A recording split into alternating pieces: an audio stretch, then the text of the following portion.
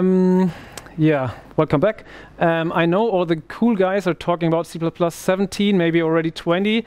Um, I'm trying to tell you a little bit about my, one of my top three C++ 11 um, features. Um, I think it's, um, well, maybe not important, but it's uh, very interesting. So despite C++ 17, let's see what C++ 11 can, 11, sorry, C++ 11 can do for us. Um, agenda is, of course, if I'm talking about the range-based for loop, I will introduce it to you. I want to talk about ranges because, after all, it's the range-based for loop. And I want to present some limitations, what I think can be limitations of the range-based for loop. Um, then I want to introduce you to Boost Range, which is a library which allows to um, overcome, I guess, most of these limitations. Um, and afterwards, um, Boost doesn't have a solution for every problem.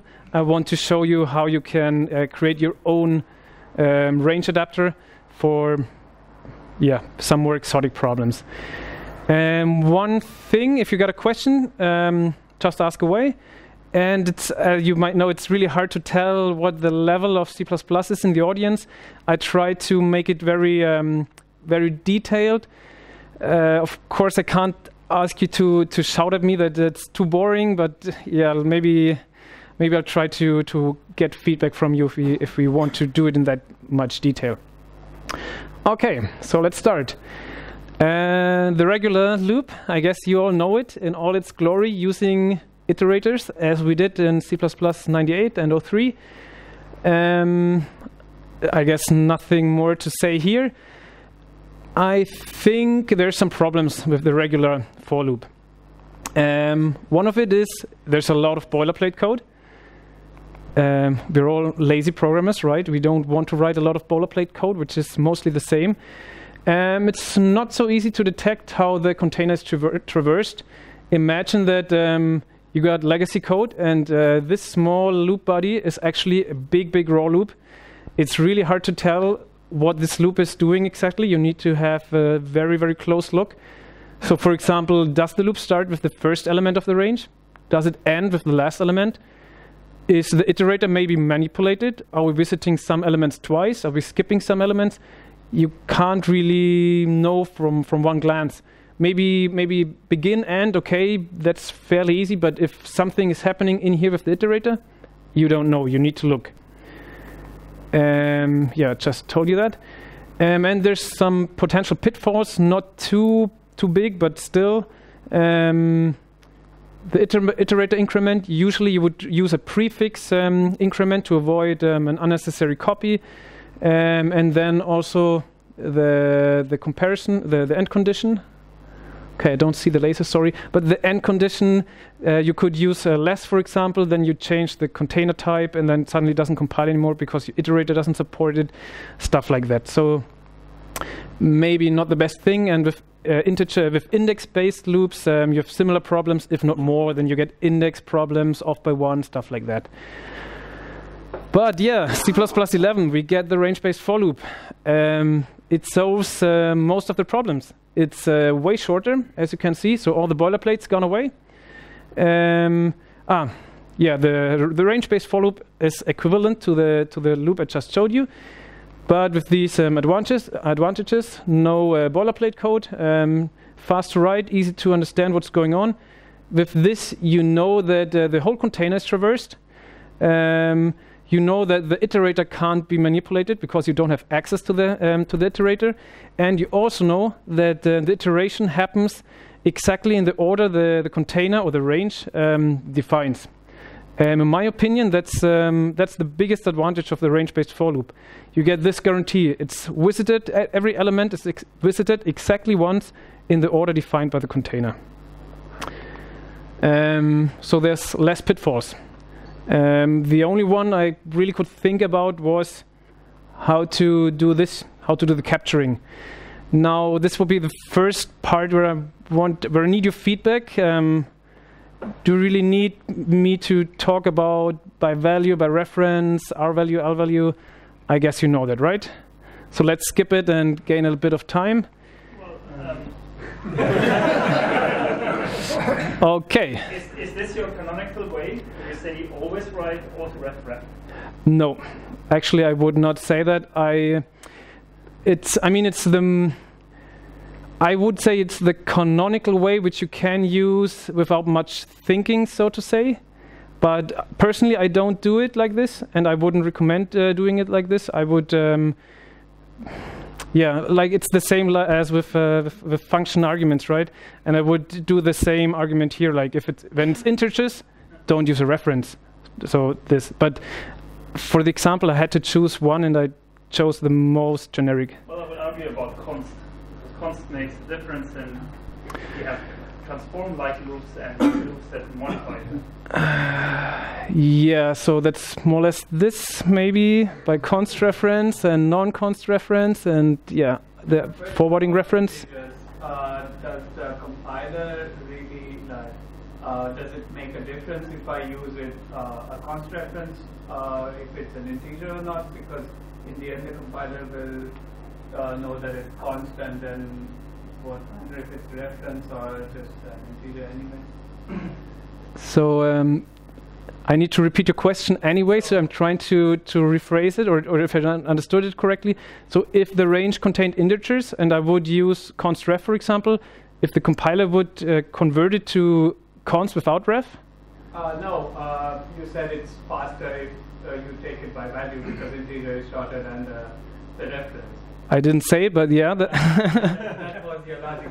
But yeah. the compiler know that it's an integer and does, does the compiler do that or not? That was my question.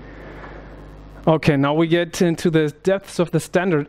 I'm not really the standard expert. I would think that there's yeah. I don't that I don't think that the standard um, mandates that. Maybe your um, your compiler will optimize it, but there's no guarantee. That's what I would think. And I get some nods. Daniel. Expect the compiler to, to inline that, but it's it's an depends on how complex your code is. I mean, it's it's another boundary for the optimizer, but the optimizer is certainly able to do something like that. So to remove a const if it's uh, to, to, remove the and uh, uh, the reference, of course, yeah, to remove the reference. Okay, so um, does this fit the? Should we talk about it uh, about the const non-const? I see not, so maybe we skip it. Okay, if we had two two complaints. We skipped it. Okay. um, yeah, as I said before, range-based for loop, not container-based for loop. Um, what is a range? And I'm talking. Hopefully, uh, if I'm wrong, you correct me. I'm talking of uh, terms of the C++11 standard. Um, because maybe you heard about the ranges TS and that's going to change things, but this is a C++11 talk, so C++11 standard. Um, so range is a sequence of items denoted by an iterator to the first item and an iterator past the last item, the end iterator. Uh, I assume you are familiar with that concept. Um, to use an iterator with, um, with the range-based uh, for loop, it needs to fulfill three, um, three properties. One is that it's uh, incrementable. One is that you can compare for inequality, because you need to compare for inequality with the end, uh, end iterator. And of course, you need to be able to dereference it. Otherwise, it would not really make sense. Um, and of course, the, the range-based for, loops, uh, for loop needs uh, means to receive this begin and pass the end iterator. So that's um, the last part of what the range defines. There need to be, um, yeah, this means there's three different uh, possibilities, and um, the compiler will take the first possibility in the list that follows. So first possibility is that your range expression is um, C array, an array type. In that case, it will um, use um, the, the, pointer to the first element of the of the array as the begin iterator, and will add the size to that pointer as the end iterator. Um, it's not, um, I guess, it's not mandated by mandated by the standard, but usually, as far as I've seen, that's done by std begin, end, which has an overload for array types. Correct me if I'm wrong, but I guess that's. 14, um, you're right. Uh, that's an 14 edition. Interesting because I'm using it and I compiled it with uh, Clang and GCC with the C++11 option, and it did not complain. but yeah, weird. Okay. So second option, because very rarely that we use um, arrays, is that you have a class type and that uh, class has a begin and an end member. In this case, um, the, um, this, this um, case is used and it does not matter which type the begin and end members have or the accessi accessibility. So if you have a, you pass as a range expression a class instance, which for example has an embedded enum, and the enum has a begin equals one and end equals two, it will use this class and see it as a, as a range because it has a begin and end member. Afterwards, of course, it will fail to compile because you can't um, invoke um, your enum items. But uh, in the first glance, it will, it will use this even if there's maybe a free begin end function for your class. But that's not checked yet. It has found your begin end members and they will be used. Um, while preparing the, the, this talk, I, I wouldn't have uh, thought of it, but I found out that your begin end members can even be function pointers or std functions. It need not be um, uh, member functions. Sounds a bit crazy, but uh, yeah. as long as it can be invoked, it works.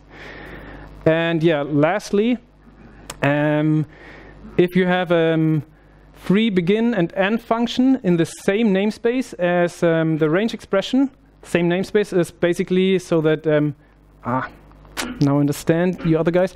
Um, uh, yeah, great. Interesting control. Um, so there's ADL, argument dependent lookup, this might be a more complex topic. It is a more complex topic, but basically it boils down to that um, a function, what is going on with this? That a function um, can be found although it's not being used or its, um, its um, namespace is, is, not being used um, due to the type of the argument. So a popular example is if you use std out, less less and then some, some string for example, this less less is an operator less less, of course, but this operator lives in the std namespace. So in theory, you, you should not be able to use it if you're not uh, doing a using namespace std. But thanks to this argument-dependent lookup, it still gets picked up because you pass std cout to it. So it's also looking in the std namespace for this operator less less. Bit complicated, but um, that's basically if you have a begin and end free function in the same namespace as what you're passing, then uh, they get picked, and that's um, the third option. But remember, if your class has um, the begin and members, your begin and free functions won't be looked at. It will stop at the second stage.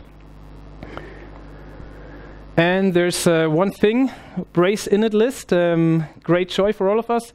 Um, there's one talk, or maybe several talks with, uh, with uh, I forgot his uh, first name, with Meyers. Uh, Scott, not Steve, Scott Meyers who like repeats three times braced init list do not have a type or have no type. He says have no typing uh, even. But in context of an auto deduction, and that's the case in the range-based for loop, they get deduced as a standard initializer list. Standard initializer list has a begin and end member. So um, a brace, uh, braced init list like this can be used directly in um, range-based for loop. Um, example for the third for the third case. Um, how many of you are familiar with Boost file system and the, and the, directory iterator?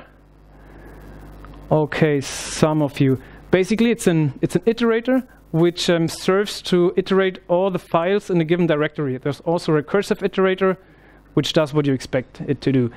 Um, conventionally, you would use it like this. So um, you pass um, you construct um, this iterator with the parent directory as the begin iterator. You use the default constructor as the end iterator.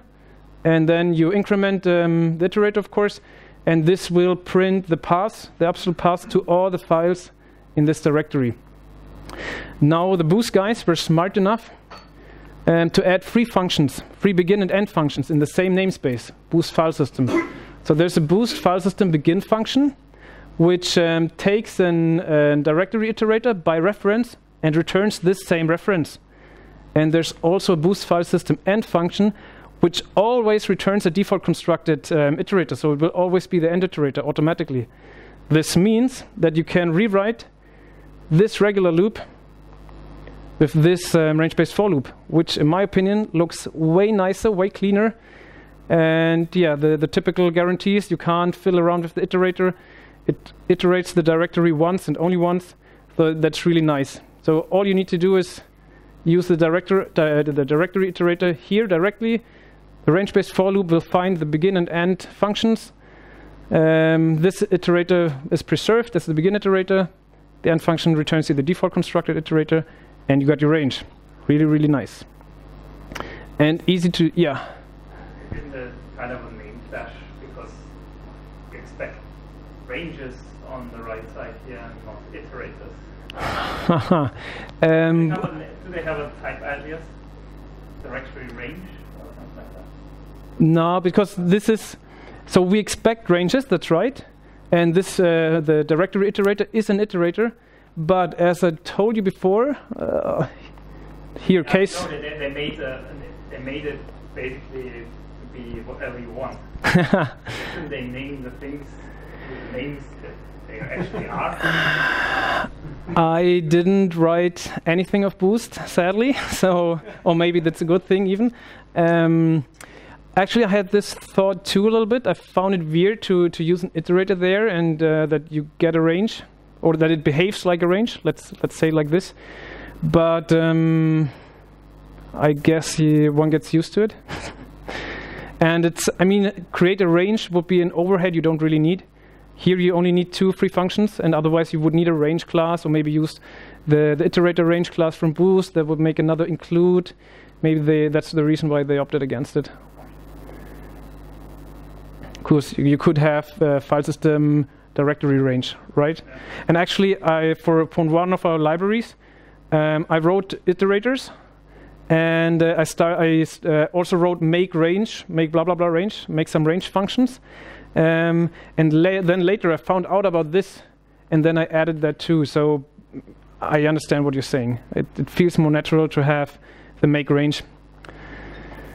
Maybe it's I don't know, question of taste, or you file a complaint or a bug.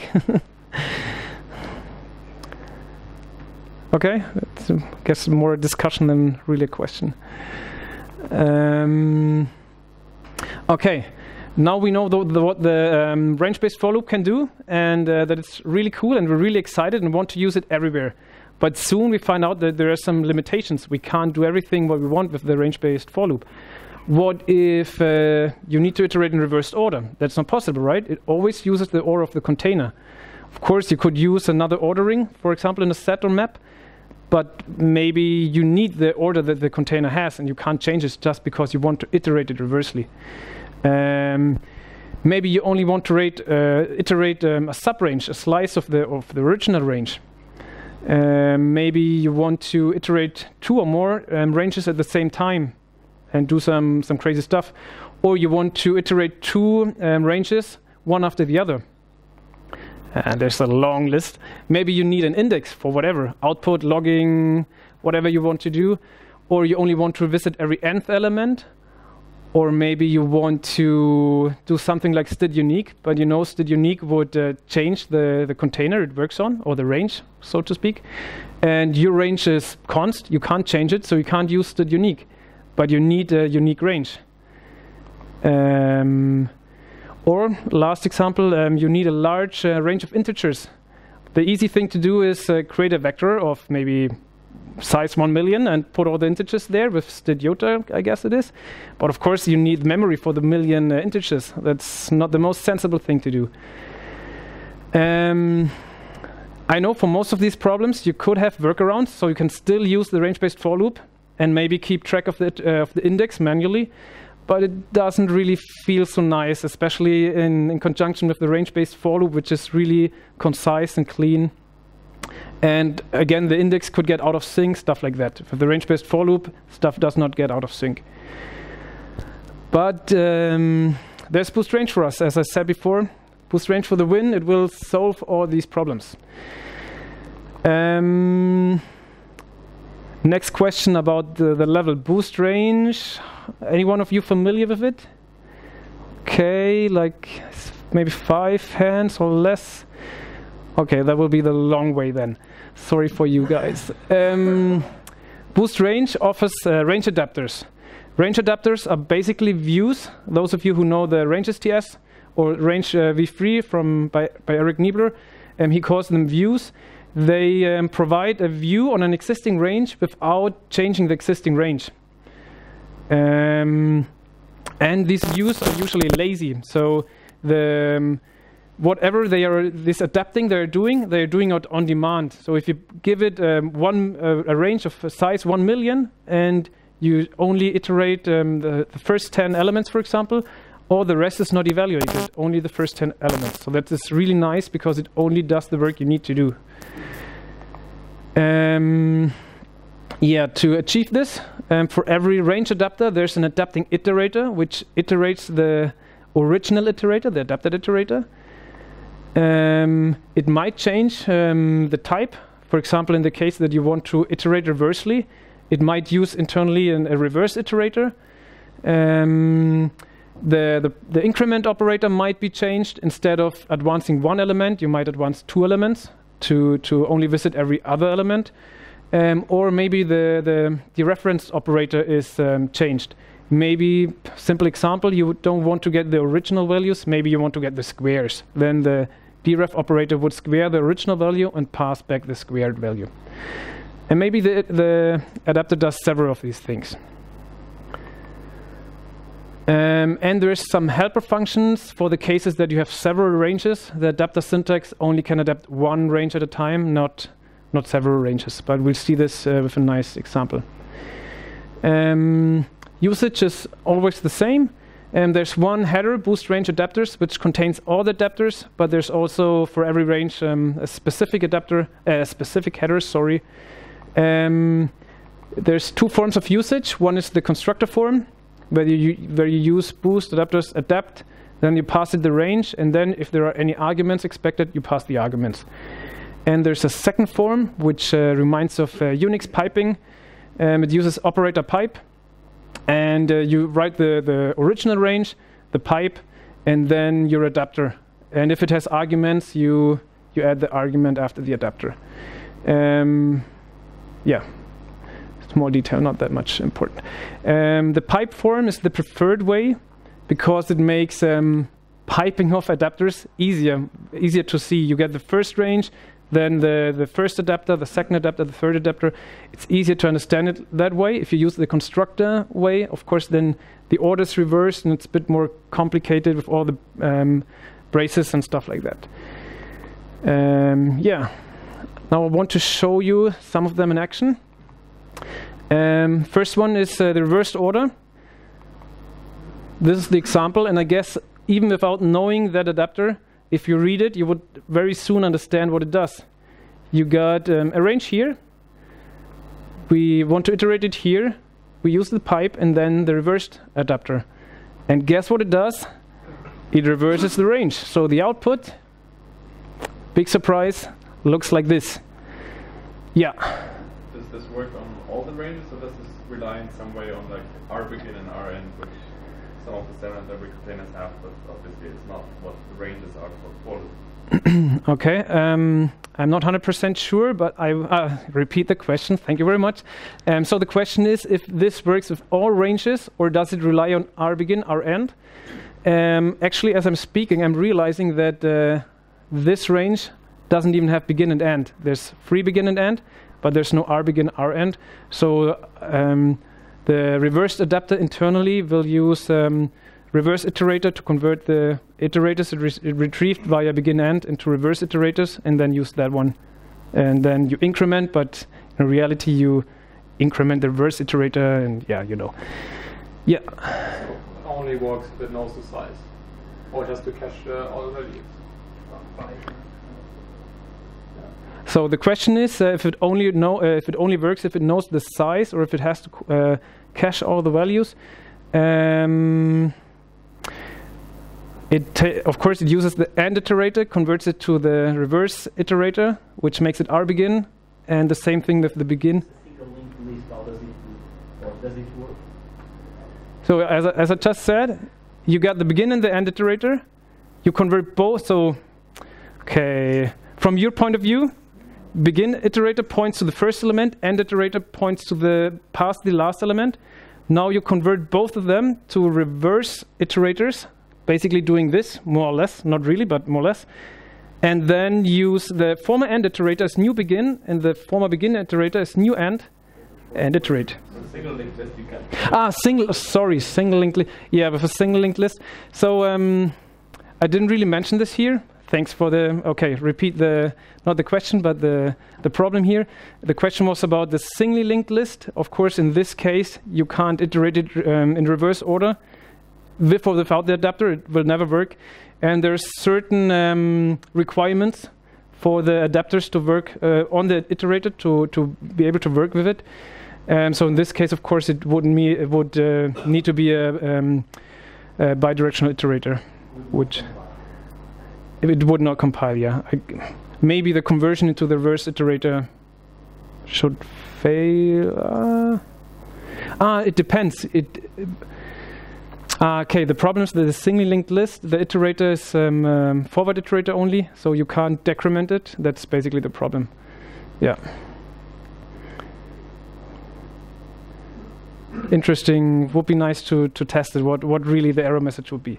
Well, the, the, the, the, the forward list is sort of a bad example because it, it, it's sort of fundamentally different from everything else.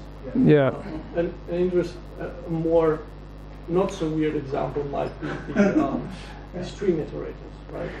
Because Input iterators. There, there you only really only ever have like one element available at the time Right. as, as they're coming in. So there will be something where um, it, it just doesn't meet the concept and it wouldn't compile.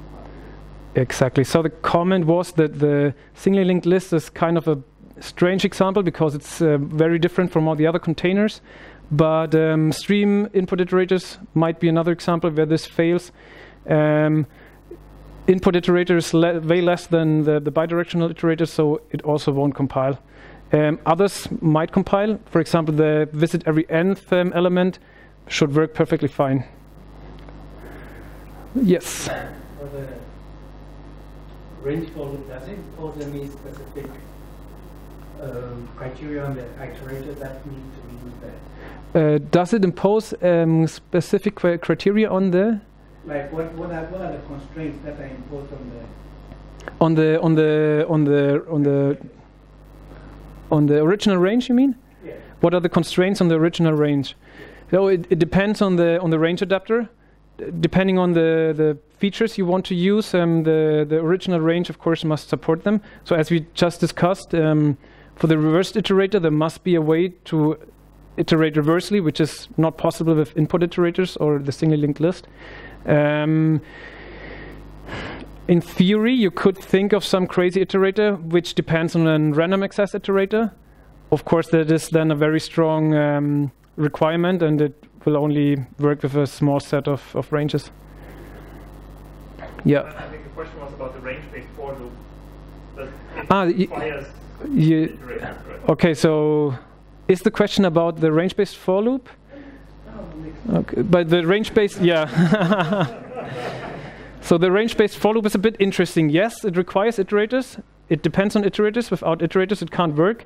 But it has very, very low requirements on the iterators.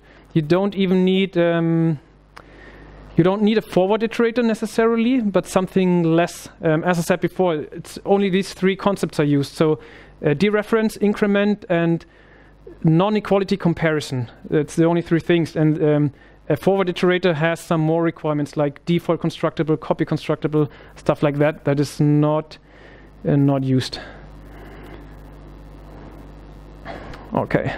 L- losing more time than I thought. Um, hopefully, the next. Um, ah, yeah, the, the slides will be online later, and then there's a lot of links in it. So if you're interested in the topic, um, if I didn't do any copy paste errors, then uh, you should get to the documentation of Boost um, of the respective um, uh, range adapter. Next thing, sliced, uh, iterate over a subrange. Um, it looks like this.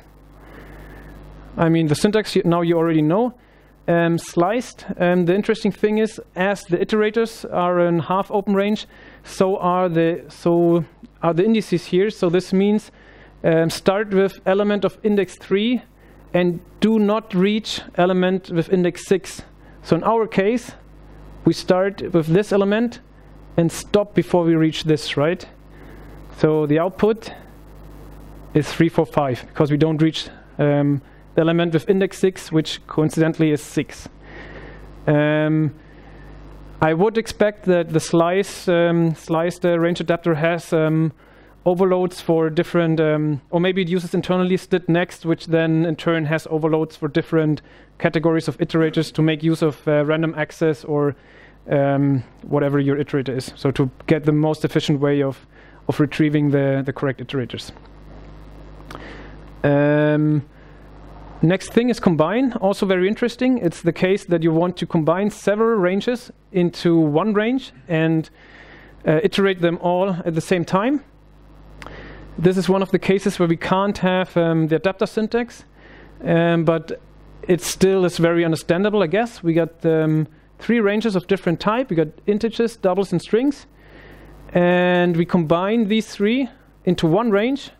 We iterate over it. And basically what it does, you can already guess it, it uh, creates um, um, a range of um, um tuple, thank you, of boost tuple. And then that's the reason why you need the boost get accessors to get um, the correct reference out of the boost tuple of references. One important thing here, the three ranges need to have the exact same size. That's because of the equality operator. If you think about it, if you want to, you have several ranges and you want to compare two iterators, two iterators for, for equality, the, the most natural thing is to expect all of the sub-iterators to be equal. But this means that you're only equal to the end iterator if all the sub-iterators are equal to the end iterator. Um, what this means is that if one of these ranges has is longer, um, after reaching the end of this and this range, here we haven't reached the end iterator. So the comparison for end will return false because it, not all three are the end iterator. And then you'll get a dereference um, of the shorter ranges and your program uh, program will have undefined behavior.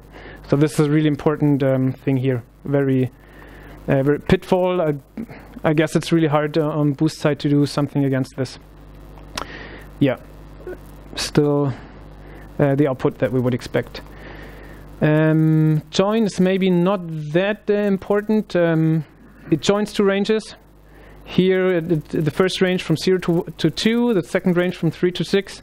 If you join them, oh, what a surprise, you get one range and the two concatenated. It can only concatenate or join two ranges, but of course you can do another join. So, yeah, you know the game. Um, index case. Very interesting. Uh, that's, by the way, the first iterator I came, I stumbled upon. Um, and it's an, it's an adapter which has an argument, and the argument by default is zero, it's the first index. So in this case, um, here um, you have a member function index to access the index and a member function value to access the value. The interesting thing here is that you, you never ever can change the index or the reference, um, which value returns, but the reference that value returns might be non-const. So you can um, change your um, original index, but uh, the original range, sorry, but you can't change the index. The index is, index is always guaranteed to be correct. That's what I before was referring to, that the index could get out of sync if you do it manually. With this solution, it's always the correct index. That's what I like so much about it. Yeah. Um, Strided is, um, try to speed up a little bit. So we stride the range by three, so we get zero, then three more, three, three more, six, and nine. Easy. Unique, as I said before, there's still unique, but there's situations where you don't want or can change the the container or the range. In this case, uh, the unique um, range is very uh, useful. Um, the behavior is exactly the same. It will this consecutive ones will be one one. This is not consecutive, so it will remain, and the consecutive threes will be reduced to one three. So your result is zero one two one three four. Just the same as if you would have used std unique, but without changing the, the original um, container or range. And the last case, then uh, I'm done with the examples, um, is a large range of integers. Um, Boost provides the function boost irange. Um, it looks like this here. Um, as before, you pass it the first index or the first integer with which, you, with which the range should start, and you pass it the first integer that should not be part of the range anymore. So this creates a range of integers from 0 to including 99 without allocating any memory, or at least yeah, dynamically allocating any memory. Um, this range can be used with std accumulate. Uh, std accumulate. There's a begin end, as you would expect from maybe a container. Uh, you pass zero, so that that accumulate starts um, summing up from zero, and you get the sum of all numbers from 1 to 99. Very nice. No, no allocations whatsoever. Question? Maybe not. There's one caveat, however.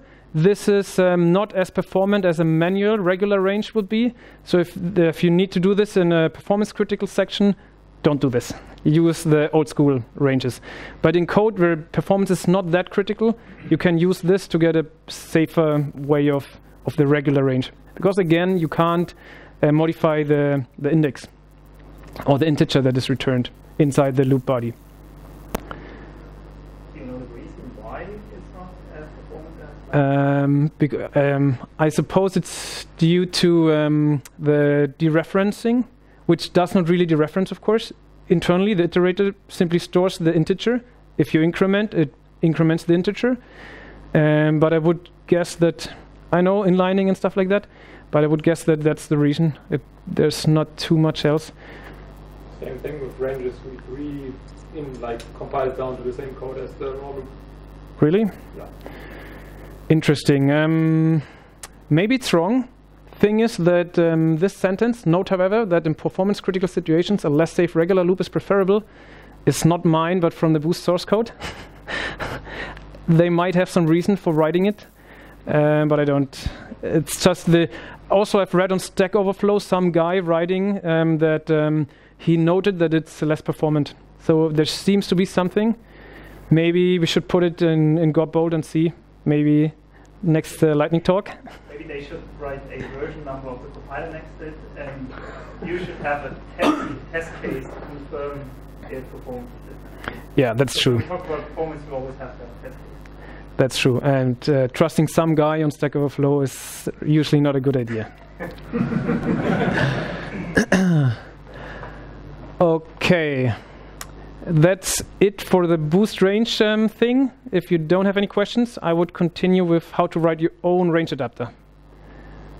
Okay, no questions.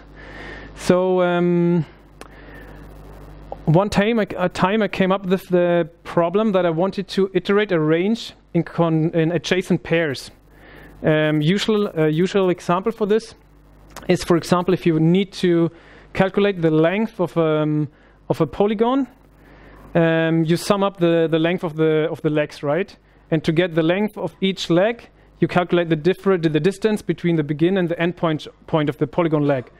And then if you think about it, your current endpoint will be the next start point. So that's more or less where my interest in, in this kind of iteration um, rise from. Um, so what we want to do is iterate a range like this in adjacent pairs, right? And Boost doesn't offer something for this. Once uh, once in time I even wrote um, a feature request for this, but until now nobody nobody fulfilled me my my dream. So um, I started to think about how we can do this ourselves, or how I can do it uh, myself. So the solution I came up with with works like this. We start with a source range, of course, because we want to adapt something. That source range is put into the, the operator pipe. And then there's a lot of operator pipes. So we somehow we need to tell the operator type that we need um, we need to get back the, the adjacent range, so the range with this adjacent pairs with it. So we use a tag class simply for overload to, to select the correct overload to get the correct um, range. And with this tag class, operator pipe we return the adapting range, which is adapting the original range. Adapting range has, well, a begin and an end iterator. These iterators are adapting iterators we need to write.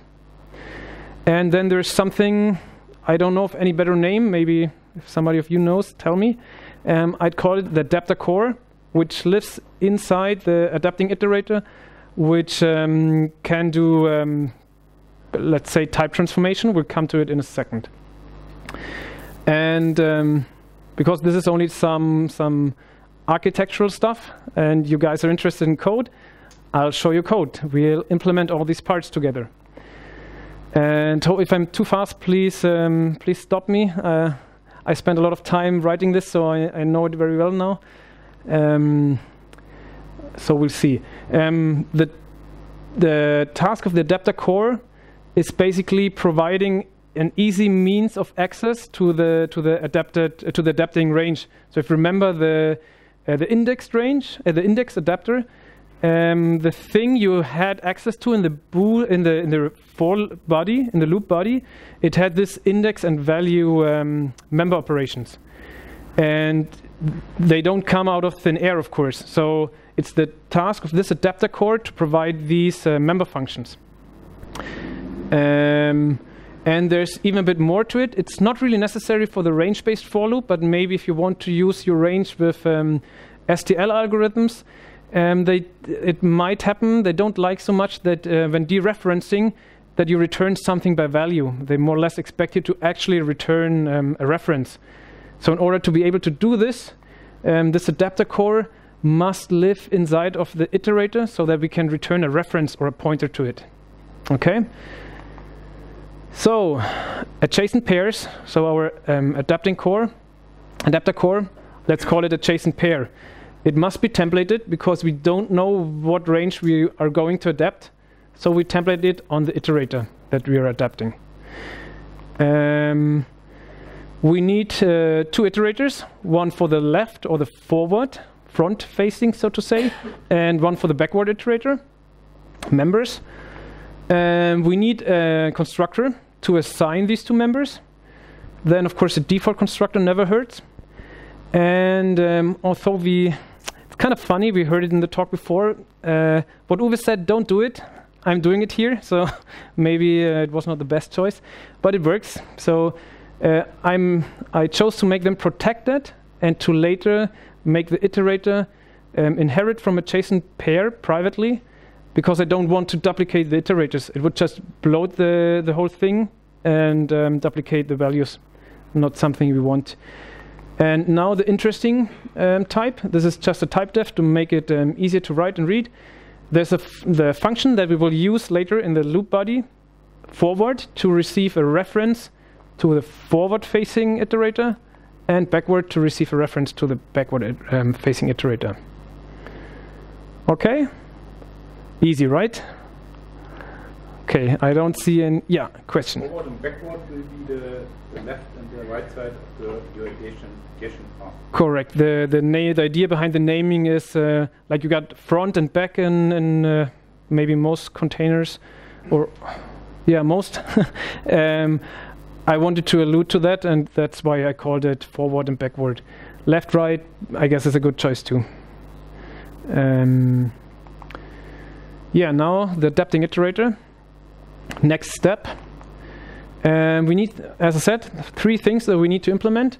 One is the comparison for inequality. We don't even need comparison for equality. We need the prefix increment, and we need the dereference. Um, and we should add uh, the default constructor, might be um, useful, and um, we should add the type defs for um, iterator traits. I don't really can't go into details here. If you're interested, um, go to CPP reference, look it up. Uh, but there's um, STL code which uses these type defs to detect if something's an iterator or not, and we want our iterator to be detected as iterator, so we should add these type defs. Uh, copy constructor, copy assignment, we want that, and we get it by default. Um, yeah, I already said that before. In doing this, it's not really an iterator. It does not fulfill any of the iterator concepts, but it works with the range-based for loop. If you want to support specific algorithms with um, higher requirements, it is possible to enhance the iterator to fulfill all these requirements. Okay, the adjacent iterator, as I told you, we're privately inheriting from the adjacent pair. Um, these are the type defs basically we're declaring our iterator as a forward iterator, although it's not 100% a forward iterator, but for this use case that's um, sufficient. Um, the value type is uh, the adjacent pair adding const. Um, my solution is a read-only um, adapter, so you can't uh, change the, the original um, range. It would be a bit weird to change the right value in the in the first iteration step and then in the next iteration step access them. I don't know. It, it kind of feels strange. Um, difference type is simply inherited from our adapted iterator. And the pointer and reference type are the value type and added uh, pointer and L value reference. Um, default constructor and um, the constructor taking the forward and the backward iterator. They're simply forwarded to the adjacent pair where they are stored. Um, increment is quite easy, I guess. Nothing, nothing complicated here. We copy the backward, make right left, and then increment right to be the new right, and that's it. The reference is easy. Um, if you choose to solve this not via inheritance but composition, then of course here you pass out the reference to the member. A um, bit interesting is the comparison for inequality, because you have two iterators and you got basically the choices to compare both for inequality or only the first one or only the second one. I chose to use the right, the backward iterator, for a reason I'll come to in a few minutes. um, yeah. Now we got the, the adapting core or the adapter core, the adapting iterator. We need the Oh, you don't have 10 minutes. That's mean. uh, we need a range, of course, because it's still the range-based for loop. Um, the range only needs the begin and end member and some type defs. Boost has something uh, convenient for us, the iterator range. Um, you, it's templated on the iterator type. And um, I'm doing a bit more. I'm defining using a type def adjacent range, which uses the iterator range with the adjacent iterator and the adapted iterator and um, the tag class. Okay, nothing, nothing fancy going on here. We define a tag struct and a static um, tag uh, instance. Important thing is that this tag instance lives in the same namespace as the operator um, pipe for ADL, the argument-dependent lookup to work. Yeah. And finally, the range factory operator pipe um, is the thing which puts all the other stuff together. Um, but there's still one, um, one thing missing, uh, mostly for convenience. Um, we put in a range and the tag class, and we give back the adjacent range templated on the iterator. But like this, this iter class, it can't be deduced, right? How would it be deduced? Written like this, when using the operator pipe, you would need to specify the resulting um, iterator type. That's not really something we want the client to do. So we need a solution for this. We write a small trait class. Um, a bit of magic, but not too advanced. Namespace detail. Um, we're pulling in std begin, um, the free function std begin, and then using declval and decltype. Oh, we like these expressions. Um, we use declval to create an instance of range without really creating an instance, but actually it's an R value reference to a not existing instance. Then we can call begin on it. It will either be this begin, which we um, added here with using, or it will be um, the free begin in the same namespace thanks to ADL. This happens automatically. And then we use decltype to determine the type of the result of begin. And voila, there's our iterator type. And because we were lazy, we create this using to get rid of, um, of this type name and type stuff. Okay? Good. Now, finally, we can write um, um, or operator pipe. Little helper function. Um, you pass, uh, you make adjacent range, you pass in the begin iterator, the next iterator, which is the first right or the first backward iterator, and uh, the end iterator. And then it uh, creates um, the, the, begin it, the begin adjacent iterator, and this is the um, the end adjacent iterator. And now you see why I chose to use the backward iterator for comparison. If I would have used the frontward iterator, forward iterator, sorry, we would have needed to um, decrement the end iterator once. Something we don't really need to do. We simply use the backward iterator, and we, we put in both end iterators, and we're fine. It works. So finally, operator pipe. Um, we get begin and end iterator of the of the range, and now I notice that the std here is not really so nice. I guess I should do the same trick as before, using std begin and then let allow ADL to kick in. But okay, bear with me. I hope you can you can um, you could um, yeah you know how to fix it.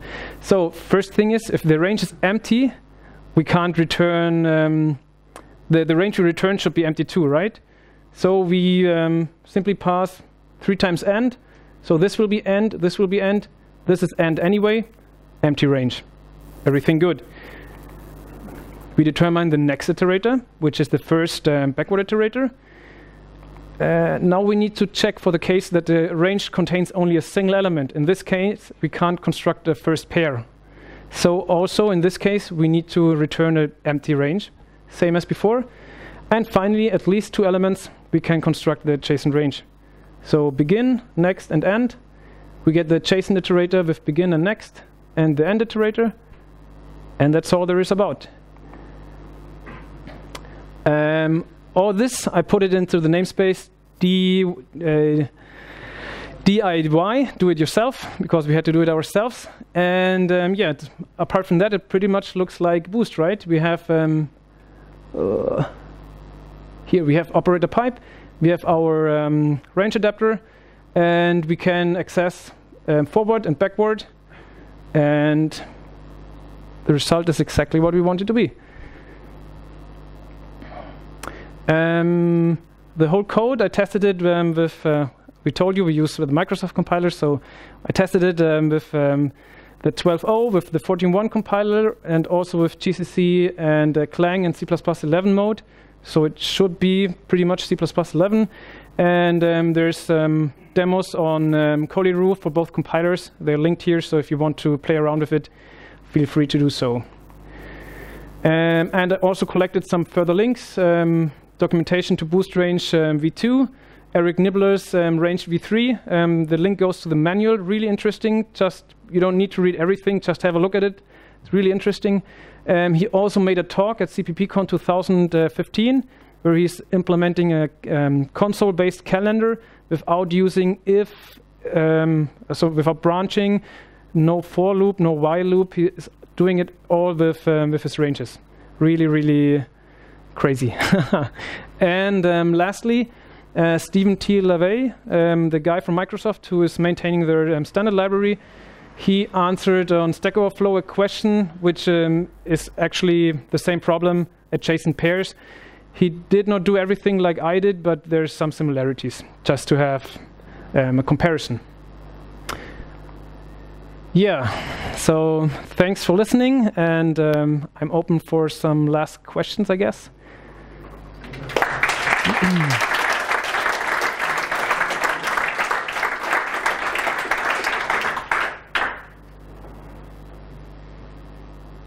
Yeah, question. Um, have you considered using Boost iterator adapter?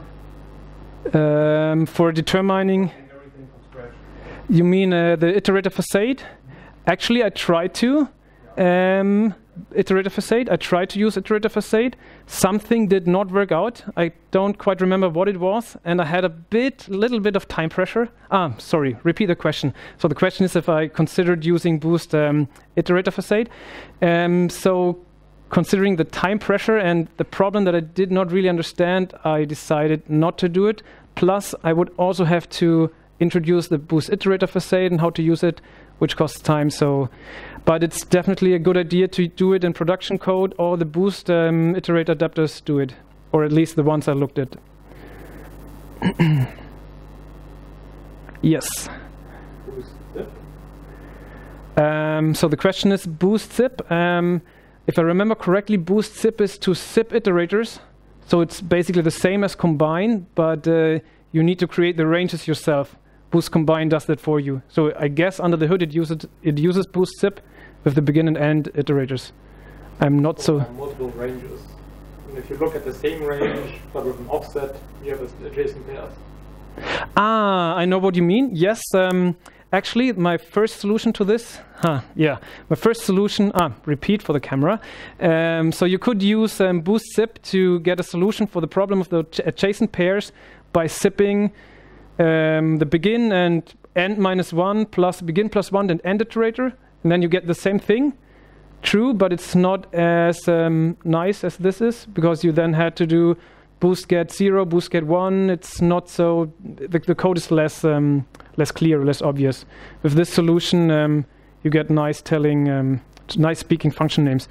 In the indexed adapter, for example, there's a, a comment in the source code, yet another pair class. Yes, but it makes for good names, something like this. So they argue kind of that you could have used the pair, but then it's again first, second, like in std map, where maybe key value would have been nicer. So It's an issue of destructuring, not having destructuring. destructuring, it's an issue of not having destructuring. I don't get it. Sorry. So don't take sugar where you unpack pairs of tuples. Ah, and Ah, okay, you could do this as well. Use um, maybe boost combine or boost zip under the hood, and then unpack the, the, the. Yeah, that's right. More or less the same solution. Yeah. Yeah. Yes. Next question. While we're on topic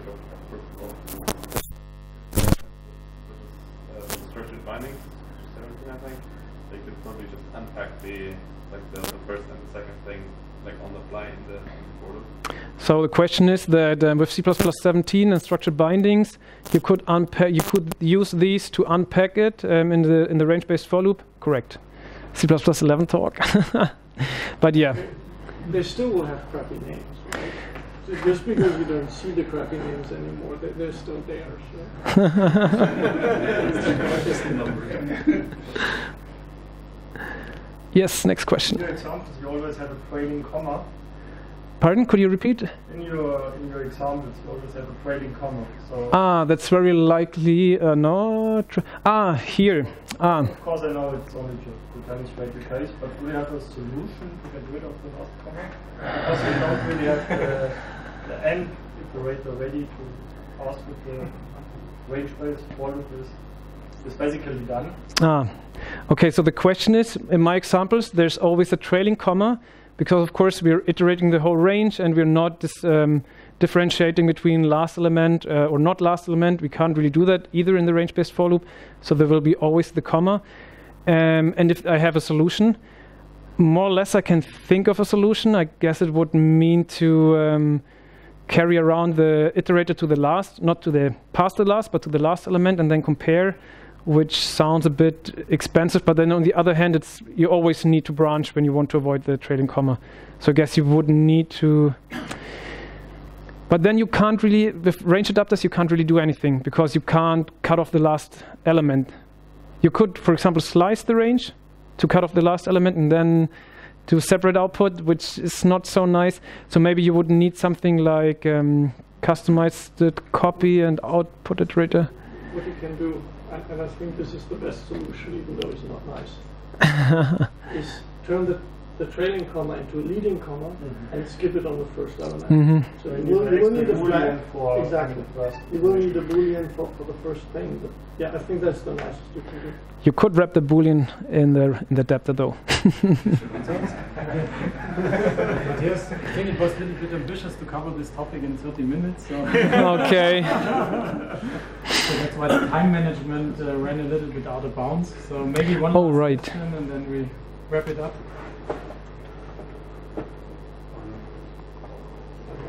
Okay, now that was intimidating, obviously. So